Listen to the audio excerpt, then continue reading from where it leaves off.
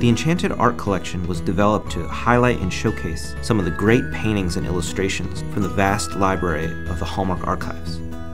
The idea was to bring the archive pieces to life through the use of layered scenes and lights.